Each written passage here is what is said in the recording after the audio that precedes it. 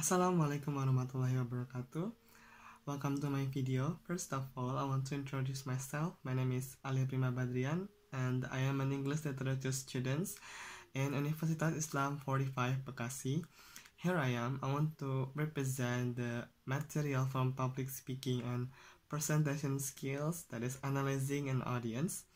So there will be three materials. The first is listening, and the second is analyzing your audience, and the last is adapting to your audience as you speak. Listening, overcoming barriers to effective listening.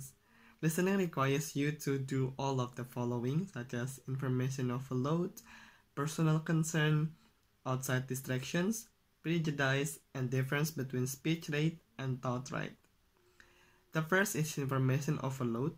As a public speaker, you can keep your audience from turning out by delivering a message that is clear and easy to understand, using interesting and vivid supporting material, building redundancy into your message so that if a listener miss an idea the first time you present it, perhaps they will they will catch it during your concluding remarks. The second is personal concern. As a listener, recognize when your own agenda keeps you from listening and then force yourself to focus on the speaker's message. Out, next, outside distractions. As a listener, do your best to control the listening situations. Try to minimize outside distractions. Prejudice. As a listener, guard against becoming so critical of a message that you don't listen to it or doing the opposite, becoming so impressed that you decide to quickly that the speakers is trustworthy. And the last is difference between speech rate and thought rate.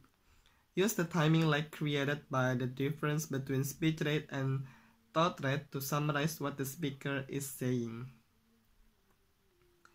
And the second is how to become a better listener. Good listener focus on the speaker's message, not on delivery style. Listen with your eyes as well as your ears. If you have trouble understanding a speaker's word, get close enough so that you can see the speaker's mouth and then stay on task. If you get off task and find that you're not doing these things, periodically remind yourself why the message can be helpful or important to you. And then the third next is monitor your emotional reactions to a message don't let the speaker language close down your mind. Be a selfish listener. Find ways to benefit from the information you are listening to and try to connect it with your own experience and needs. Listen for major ideas. Try to mentally summarize the major idea that specific facts support and identify your listening goals, such as listen for pleasure, to empathize, listen to evaluate, and listen for informations.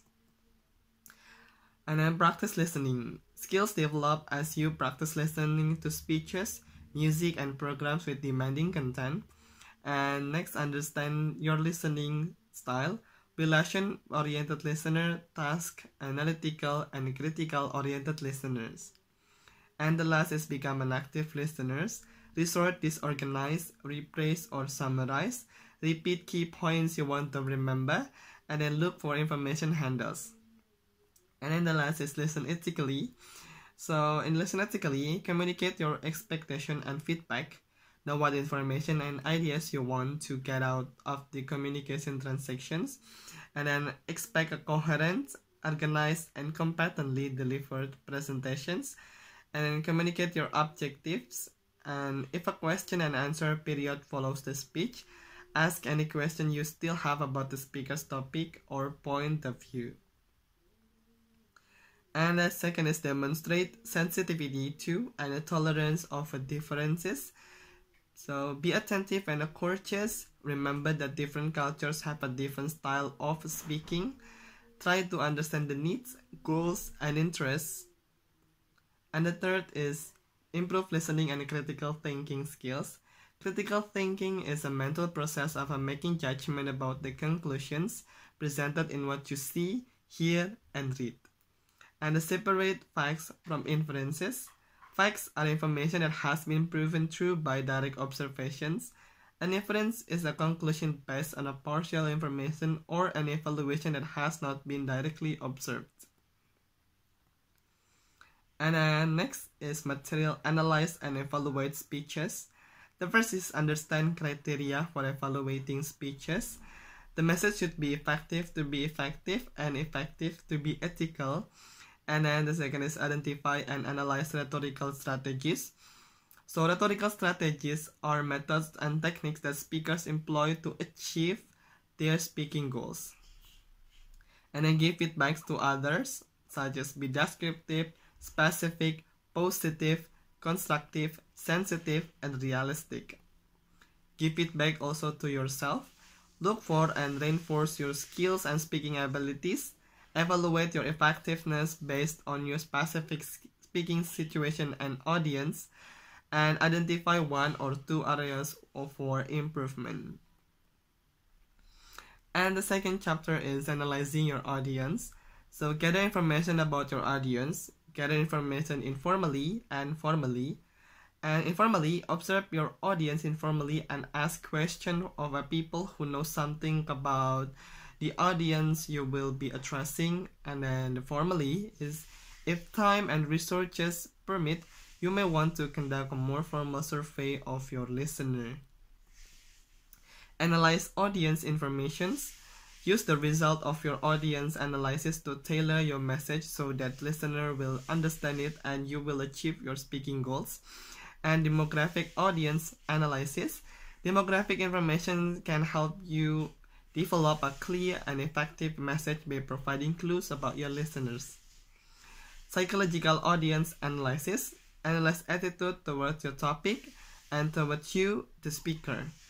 Situational audience analysis. Situational audience analysis includes a consideration of the time and place of your speech, the size of your audience, and the speaking occasions. Analyze your audience after you speak is just nonverbal responses, verbal, survey, and behavioral responses. Read nonverbal cues, eye contact, facial expressions, movement, nonverbal, responsive, and verbal responsiveness. Respond to nonverbal cues.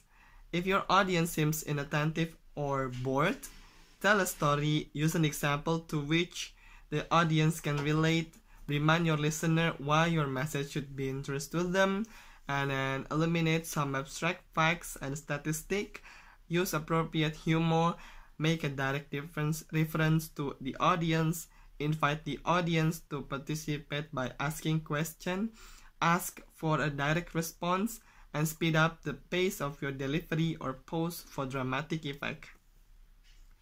Respond to nonverbal cues. If your audience seems to be disagreeing with your message, provide additional data and evidence to support your point.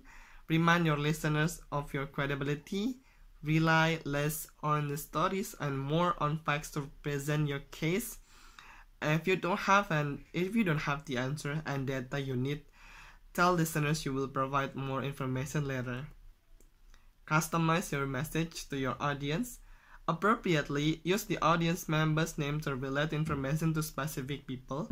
Refer to the town, city, or community where you are speaking. Refer to a significant event that happened on the data of your speech.